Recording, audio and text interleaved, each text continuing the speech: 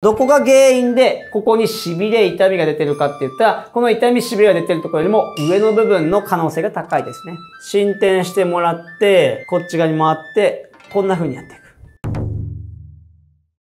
発想中宣国最後の鳥で、生体院復活院長で理学療法士の松田啓太です。動画をご覧いただき、どうもありがとうございます。このチャンネルでは3件以上の整骨院、整体院、整形外科に行っても痛みが改善していない、もしくは湿布、痛み止めで痛みをごまかしている、そんな患者さん向けに撮らせてもらっている動画になりますので、痛みを根本的に解決したい方、ぜひ見てみてください。松田さん。はい。すねの外側が痛いです。今日からスライド後ですか。はい。スライドで分かりやすくなってますか皆さん見てくださいね。いいなと思ったらぜひチャンネル登録、あとコメント、高評価お願いします。今日はこれですかすねの外側が痛い。はいすねの外側が痛いって、患者さん来ることやっぱ多いんですよ。私腰痛専門でやってますけど、足が痺れるって言って、例えばお尻だけが痺れてる方もいらっしゃったりとか、足の裏だけとかいるんですけど、このすねの外側だけ痛いとかっていう方もやっぱいらっしゃるんですよね。なんでここだけみたいな感じになることがあってて、結構質問を受けることが多かったので、今回ちょっとね、これまとめさせていただいて、シェアしていきたいなというふうに思っていますと。で、まずこの外側が痛いっていうのに関しては、あの、いろんな原因があるんですけど、大きく3つです、原因が。まずは神経痛。神経が原因のもの。あとは関連痛と言って、これちょっとまた難しいんで説明しますけど、関連して出てくる痛みってものですね。あとは筋肉が原因になっていること。大きく、この関連痛、そして筋肉、そして神経。この3つから痛みが起きていることがあります。神経痛。これ何かって言ったら、座骨神経痛。N っていうのは神経っていう意味ですね。座骨神経っていうのは、腰から出てですね、お尻の方に出て足の裏側まで行ってるような神経になります。非常にでっかい長い神経になりますね。で、この座骨神経から来てたりとか、あとはヘルニアっ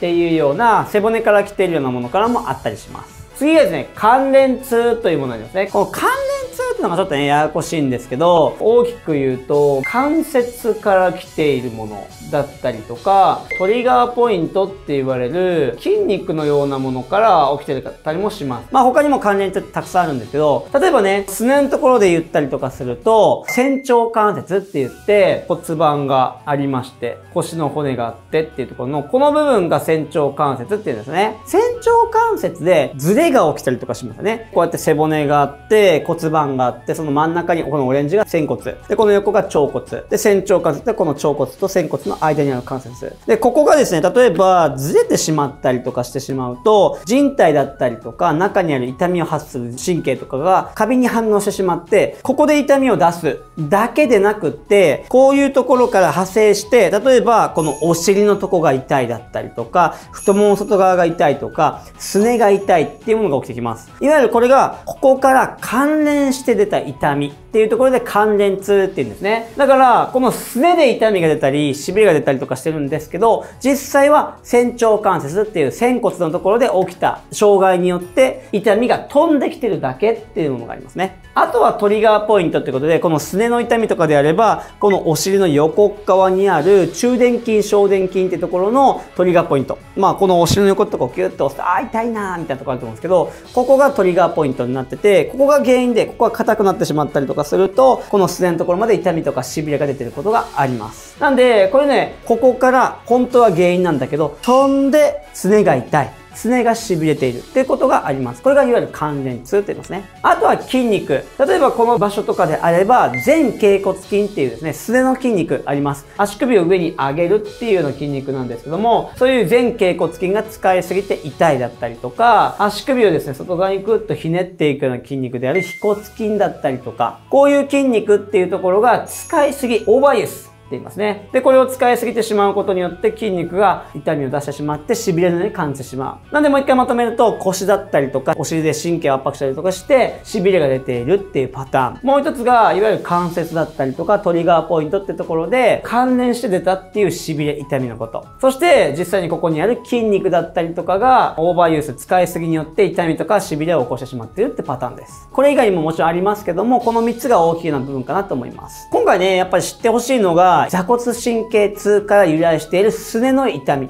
結構座骨神経痛っていうとお尻のあたりとか太もものあたりだったりとか足の裏って言われる方結構多いんですけど、これ実際はですよ、すねのところも座骨神経痛の一部なんですよ。全然想像つかないです。座骨神経痛ってね、ちょっと実際書いてますけど、お尻のところからね、梨状筋症候群とか出たりとかして、お尻から出てぎゅーっと足の裏っ側前通っていくっていうような流れを考えてる人が多いんですが、座骨神経痛って大きく3つの神経があるんですよ。一番最初に大元に出てくる座骨神経っていうものですね。ただ座骨神経はだいたい太ももの3等分したところの下3分の1のところで分岐って言って2つに道が分かれるんです。で、この分かれる瞬間に名前が変わります。まっすぐ座骨神経っていうところが降りてきて、そのまままっすぐ下に下がっていくところを頸骨神経と言います。で、ここの部分からまっすぐ行かずに外側に伸びているっていう神経。これを腓骨神経と言います。実際は総腓骨神経っていうものになって、線腓骨と心腓骨って分かるんですけど、まあ、腓骨神経というふうに覚えてもらっていいです。で、この座骨神経、頸骨神経、腓骨神経のこの3つ合わせて、いわゆる座骨神経っていう足の裏側の神経になると思ってください。今回焦点をお伝えしたいのが、この腓骨神経っていうところですね。でこの腓骨神経は、下3分の1のところから外側に分かれていって、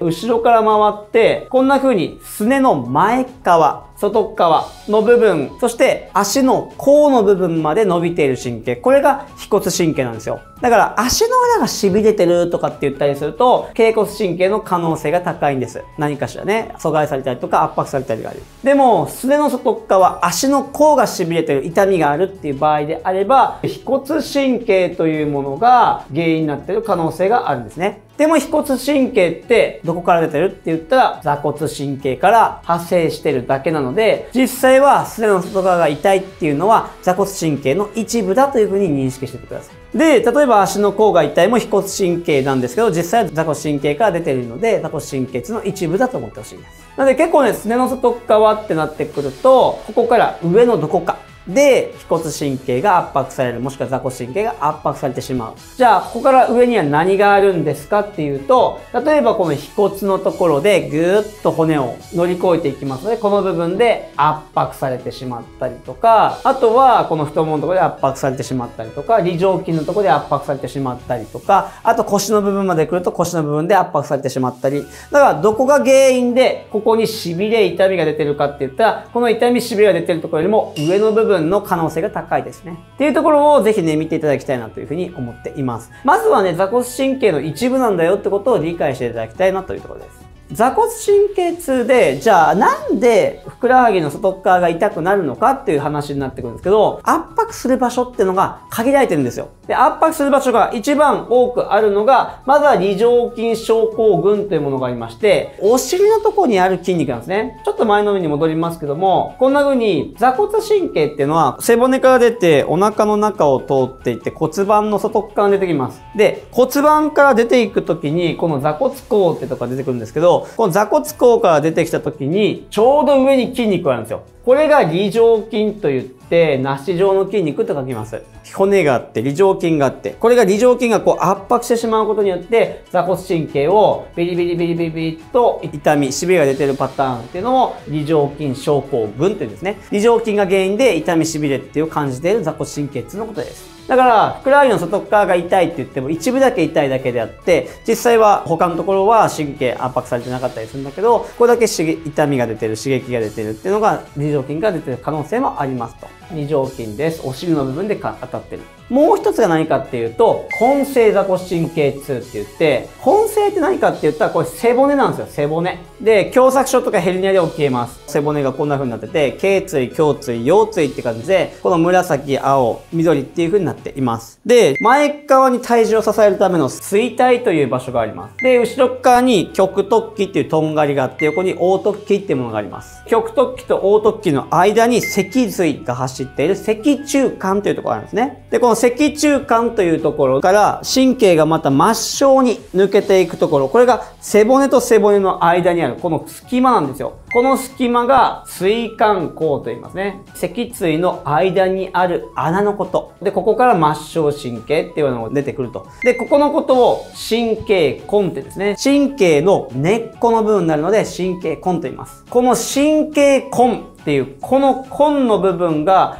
例えば、ここの部分、こう神経が出てきてますけど、この部分、背骨が曲がると開きます。でも、反っていったりとかすると、神経根のとこ圧迫します。だから例えば、反り腰とかかで腰が痛い、腰が痺れてるっていうのは、もしかしたら神経根を圧迫してしまってる可能性がありますよって話ね。なので、失恋のところで痺れ痛みが出てる場合でも、この上の部分のどこかで神経が圧迫されてるので、微状筋がまず一つある。で、中に入ってこの神経が出てくるって椎間孔がある。椎間孔のところで神経根を圧迫して痺れが出る、痛みが出る。これを根性の座骨神経痛と言います。座骨神経痛っていうのは症状の総称っていうの話になりますね。お尻のところから足の裏まで痺れてる痛みが出てるっていうのを座骨神経痛と言います。なんで、この神経根で圧迫をされて痛み痺れが出てるっていう場合でも、例えばヘルニアによる座骨神経痛用の症状って言ったりしますね。なんで、まあこの根性座骨神経痛っていうものも一つ座骨神経痛の人ではあると。そしてもう一つが神経の牽引ということで、神経自体が例えば何かしらお尻のとこだったりとか足のとこで神経自体をギューッと筋肉が圧迫してしまったりとか、神経自体がグッとこっちでも筋肉に圧迫されている、こっちでも筋肉で圧迫されていると、神経自体がこうやって引っ張られるんですよね、ギューッと。例えばよくあるのが神経根のところで圧迫を受けている状態、プラス筋肉のところが硬さが出てきて、ここで引っ張られてしまって、痺れ痛みが出てますってパターンもあります。なんで神経の牽引、これをね、2箇所以上で起きないと基本的に痺れは起きないって言われてます。で、これ2箇所のと以上のところで起きることをダブルクラッシュと言いますね。まあこれはこういうものがあるんだというぐらいで思ってください。ダブルクラッシュ症候群って言います。いわゆる2箇所のところで圧迫をすることによって神経とか筋肉に痛みが起きてしまうよって話ですね。なので、これ3つ大きくお尻の部分、腰の部分、あとは筋肉の部分っていう風に分かれてくると思ってください。今日ね、見てほしいの何かって言ったら、神経から来てるもの、あとは筋肉だったり関節から来ているもの、あとは筋肉から来ているもの。筋肉とか関節って言ったら、これ私たちが調整できること多いんですけど、この神経から来てる場合、背骨から来てたりとか、ヘルニアとかから来てる場合であると、私たちで触れない可能性があります。背骨のところ、逆に言うと神経のところは私たちが触れる可能性が低いかもしれない。まずはこれは整形外科にホスピタルって書いて、病院に行ってもらった方がいいパターン考えます。でも関連痛であれば、まあ、ほとんど触れるんじゃないかなというふうになりますね。なんで私たちでも対応ができますと。で筋肉であれば私たちがめめちゃくちゃ触れるポイントになりますから、まず私たちで見てもいいですよって話になります。って考えた時に、ここはまず第一選択として病院に行ってほしい。他は私たちも見えるんじゃないかなって判断になります。なので、この神経根から来てるか、神経痛から来てるかっていうのを見比べる必要があります。ということで、今回何を紹介するかというと、ケンプテストってやつやってください。もしすねのとこが痺れてるっていう人で、このケンプテストってやつが陽性になった場合は、まず整形外科に行ってもらった方がいいと思います。ただ、ケンプテストやっても全然大丈夫ということであれば、私たちのですね、整体院だったりとかに来ていただいて治療していくことで改善する可能性もあります。ケンプテストのやり方なんですけども、まあ、これは神経が圧迫されているのをさらに圧迫するって話になります。なんで、例えばね、これと同じようにやりますけども、ここに神経根があの出てますと。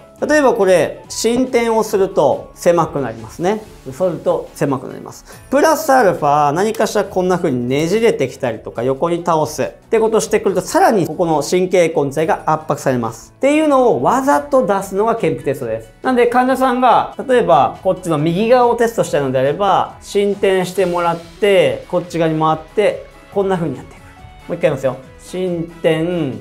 逆側に回線、体を向ける。プラス、右に体を傾けていくってすると、こっち側にグッとストレスを加えていきます。で、これをケンプテストやってもらって、痛みが強くなってしまったりとかするとか、痺れが強くなる場合であれば、神経から来ている可能性があります。ですけど逆に、これがやってみても、全然痛み大丈夫っていうことであれば、もしかしたら骨格とか関節から来ているような関連痛、もしくは筋肉から来ている筋肉の痛み、痺れの可能性があります。ですので、まずやってほしいのは、ケンプテストやってもらって、背骨から来ている座骨神経痛ですか？もし違うんであれば、私たちで介入できる可能能性がありますよ、ということをぜひね、理解していただければというふうに思っていますので、ちょっとね、まずこのケンプテストをぜひね、実践やってみていただければと思います。で、圧迫して解除して楽になるかどうかってものに関しては、ちょっと複雑なテストになりますし、私たちが治療家側がやるテストかなと思いますので、簡単に言ったらこう圧迫をした後に、その姿勢をこうやった後に解除して楽になるんであれば、と痛みとか痺れっていうところが出やすい、そこから出てるんじゃないかなっていうふうに確認するもんだと思ってください。ただ、この1番で痛み痺れが出てる場合であれば、ば、陽性って形になって背骨から来てる確率高いですから、逆に言うとこの検プテストやっても大丈夫ということであれば、それぞれ関節とか筋肉に対して治療していくことによって改善できる可能性高いので、まあ、ぜひね、そういう風な見極め方というところでぜひね、やっていただければと思いますので、ぜひ筋肉とか関節の場合であれば、うちあの、治療をやらせていただいています。座骨神経痛だったりとか、そして痛みが戻らないっていうための運動療法をさせていただいていますので、3件以上行っても全然改善しない、手術宣告されたんだけどどうしていいかわかんないっていう座骨神経痛の患者さん、この生体院復活やってますので、概要欄の方にリンク貼っておきますので、そちらの方からチェックしてもらって、お近くの生体院に行ってみてください。はい、ということで今日はね、これで終わりにしたいと思います。今日の話よかったらぜひね、チャンネル登録よろしくお願いいたします。